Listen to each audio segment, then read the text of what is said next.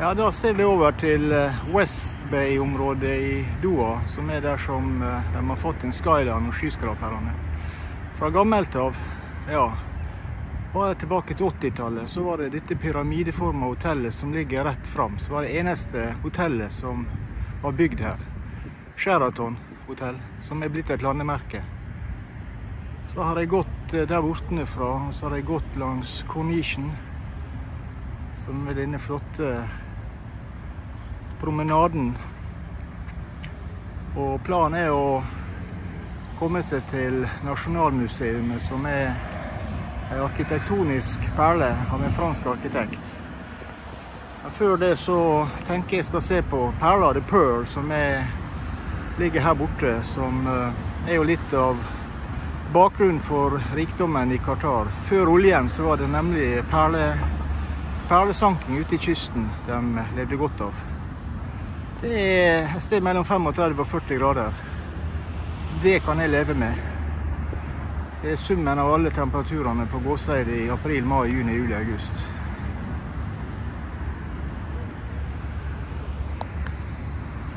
Jeg har tatt på solhatt og solbriller uten gåseide. Men jeg har store forventninger nå da, til hva jeg kommer til å oppleve i løpet av dagen. Og så tror jeg ikke makter å, jeg ikke makter å gå tilbake. Så skal jeg enten finne Metro, Uber eller taxi, så får vi nå se.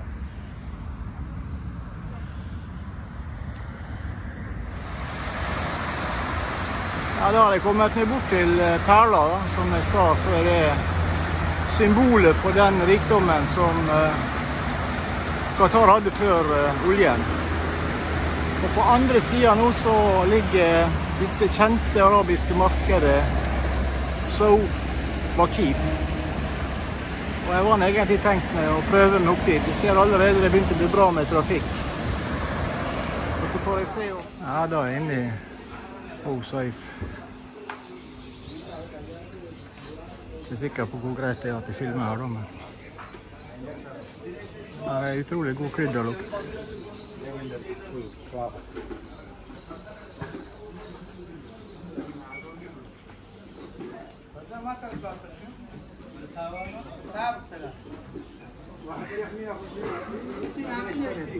ها 150 الطاجة Ja, fantastisk. Deilig bare å gå her og kjenne på krydder, krydderlukta. Her er alle mulige varer du får kjøpt.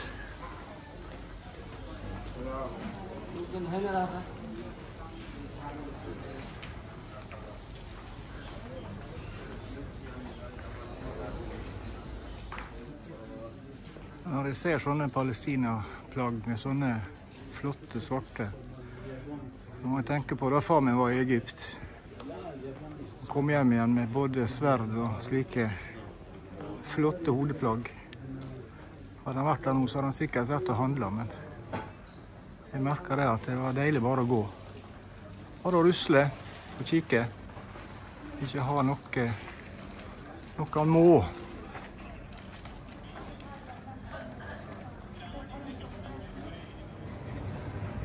Da har jeg gått på metroen. Det ble, på, det ble litt for varmt ute, så nå skal jeg prøve å ta metroen bort til Nasjonalmuseet. Det er den reneste metrostasjonen jeg har sett.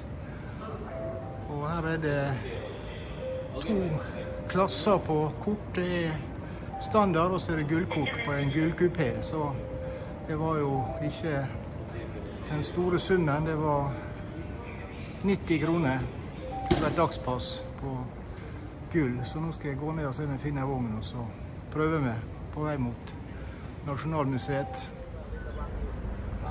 Ja, da har jeg funnet veien til Qatar sitt nasjonalmuseum.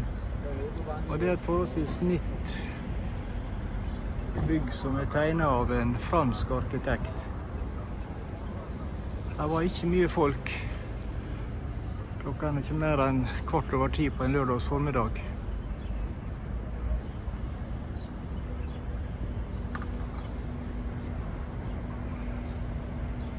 Så jeg tar meg inn og ser litt nærmere på.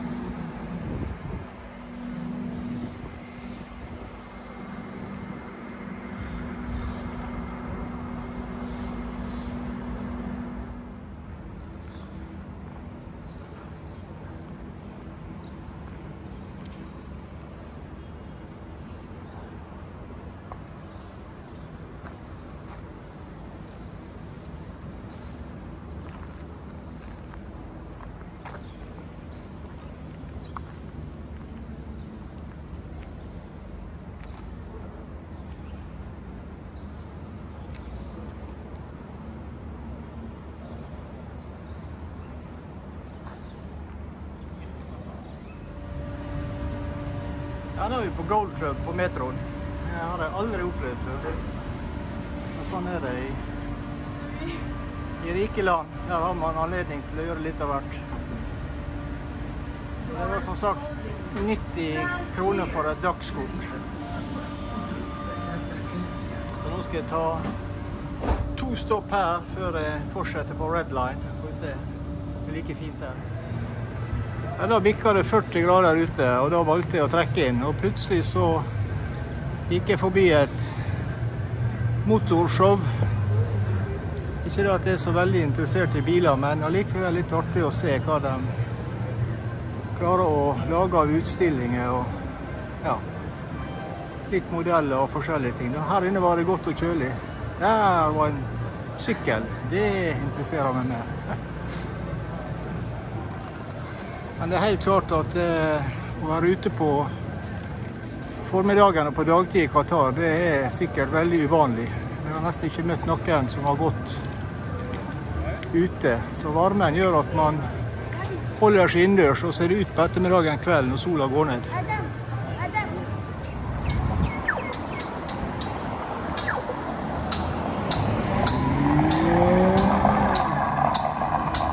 Nei, det er burning og bønnestund med hverandre.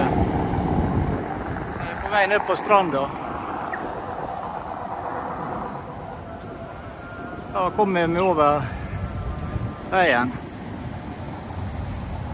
Det er mye trafikk.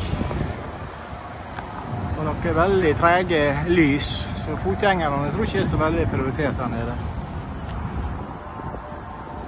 Det er Doa Sands nå da, som er beachen så jeg tenkte jeg skulle gå ned og se på. Jeg mener rett fram der ligger det hotellet Antero bodde på, St. Regis. Kan du se etterpå.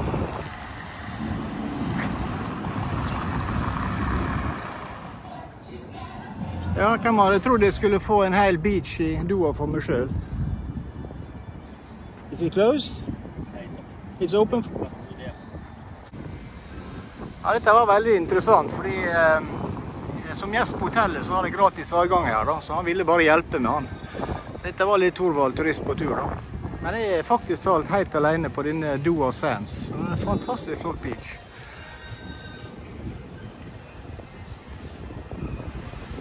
Så nå skal jeg ha med et sjøbad. Langt der framme er Lusal.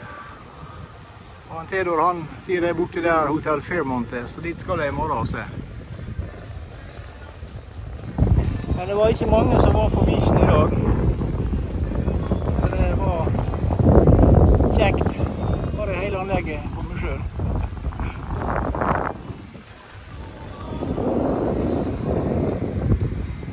Ja, da er vi på dag to. Og nå er jeg på vei til Lusal.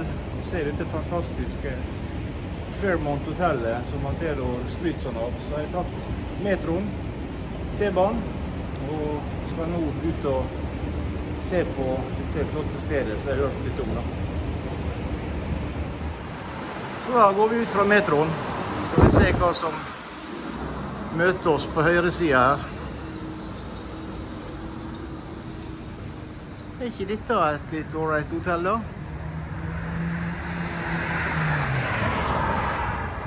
Dette er altså et landemerke i eh, Doha. Det symboliserer disse to sverdene som er i eh, riksvåpenet deres. Og det er flere aktiviteter i dette bygget, men det mest kjente er visst Fairmont hotell.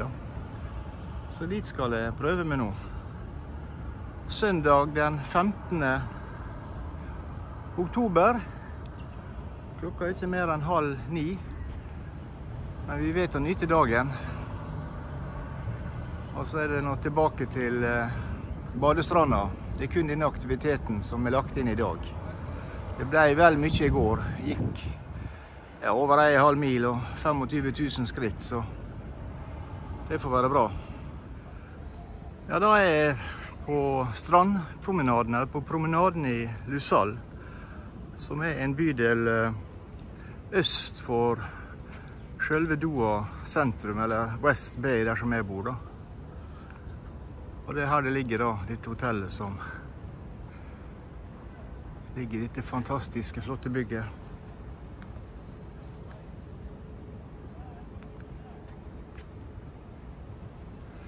De har balkonger og sikkert ei suite på toppen her. Nei da, det er fantastisk. Det bor jo ikke mer enn 3,5 millioner mennesker i Doha. 90% av dem igjen er expats, eller utlendinger, som kommer hit for å jobbe. Så qatarianerne dem er i mindretall, minoritet i eget land. Ja, Da har jeg kommet inn på Raffles Hotel i dette fantastiske bygget. Jeg har jo bodd på Raffles i Beijing i Kina, da, så det var veldig hyggelig å slappe meg inn. Det er nok hakket over kontinental, interkontinental i West Bay, dette her, ja. Ja, da har jeg kommet inn på Fairmont Hotel.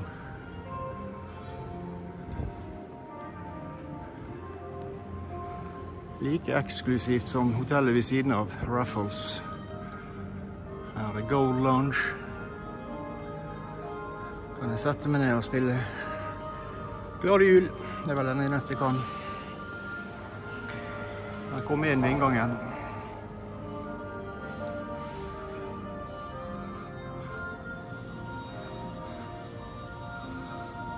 Fantastisk flott, altså.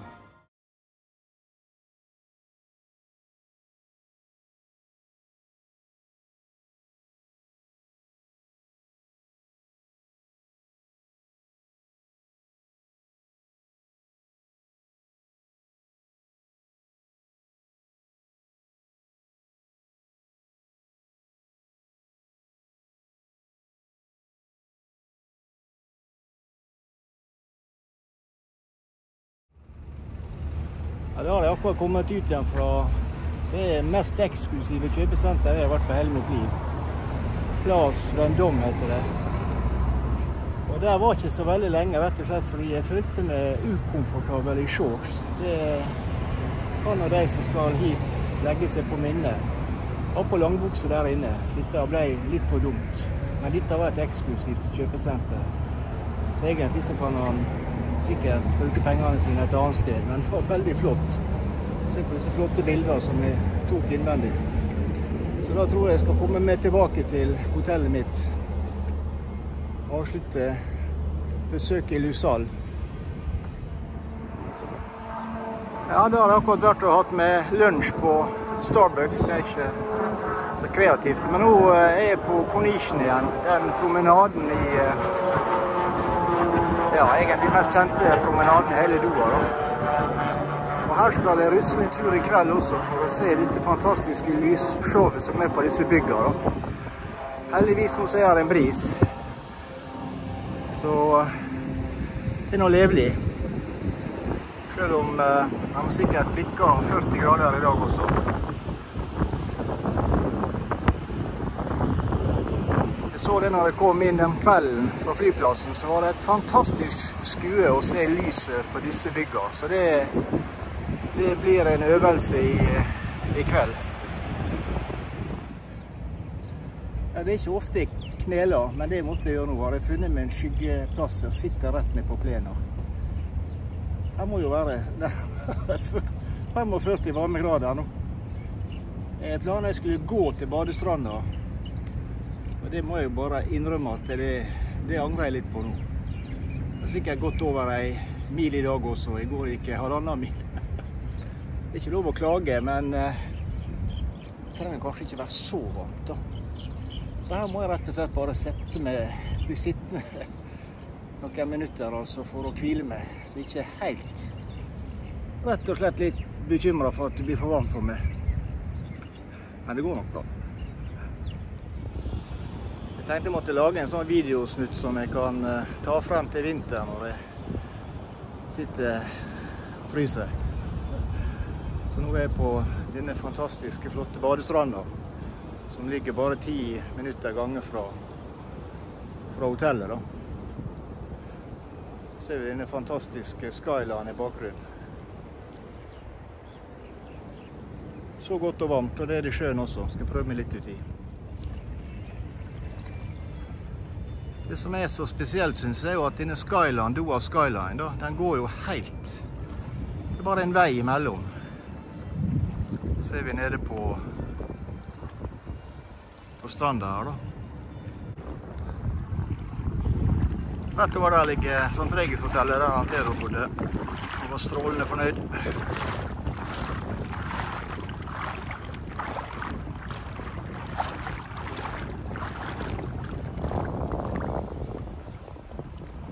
Vi skal gå noe lenger uti.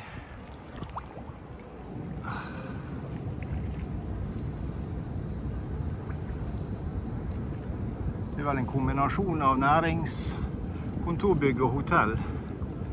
Jeg vet at rett der framme, det lave bygget, det er den Det er vel den eh, meksikanske ambassaden, tror jeg. Og han som går rundt der oppe med hvitt håndkle på hodet, det var en russer. Han prata jeg med i stad. Han var i transit og skulle videre til Kina.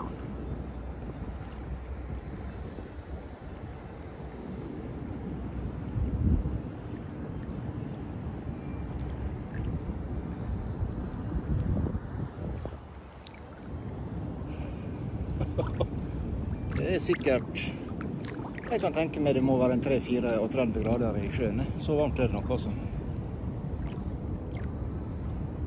Så dette varmer på en helt annen måte enn det som er vant med sjøen hjemme, i hvert fall. Det er ikke særlig tvil om.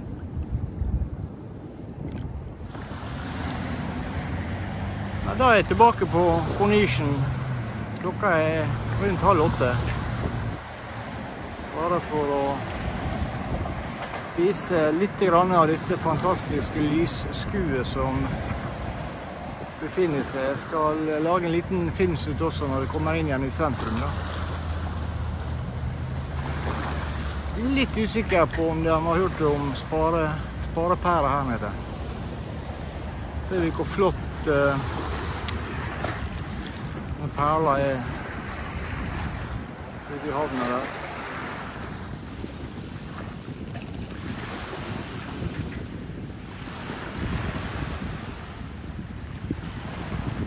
Ikke minst måten de lyssetter på langs hovedveien. Det var en opplevelse når jeg kom kjørende fra flyplassen på fredagskvelden. Disse det må være kunstige palmeblader, da. Hvor de legger lyspære, lyspære på.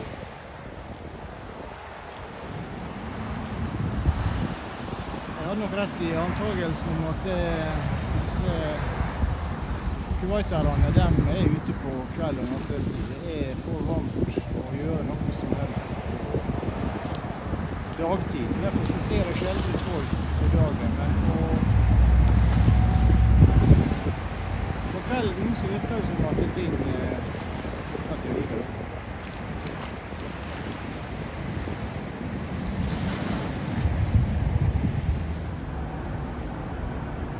Da har jeg kommet inn igjen og nærmer meg hotellet mitt. Skal jeg gå litt og kikke i strøket.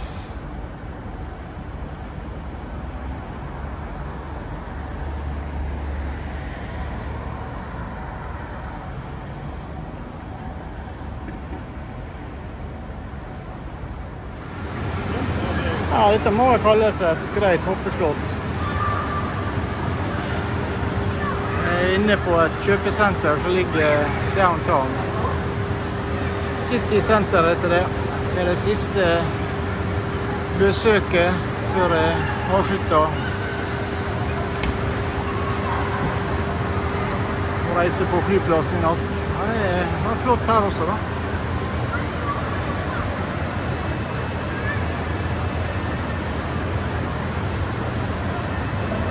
Ha med en liten runde og se hva butikken er. Den logoen der kunne nesten ligne på henne som er ute, men jeg tror ikke det er det. Vi får se. Jo da, det er det. Ja, men der står det HM. Det var altså som er ute på arabisk. Den likte. Ja, da har jeg kommet opp i business-loungen. Her er det like flott som han Theodor har fortalt meg om. Sitter og venter på frokosten. Han noen timer jeg skal slå i hjel her før flyet går til Oslo. Men jeg tror det skal bli usedvanlig behagelig. Her blir vi alle behandla som sjeiker og konger, det er det ingen tvil om. Så dette her var en nydelig plass å være. Stille og rolig. Og selv om det er noen folk som reiser sikkert hele døgnet. Nå sitter jeg og venter på frokosten skal starte. Sikker på at han kommer og serverer den også. I til kaffe og juice. Det er ikke noe det står på, du. Thank you.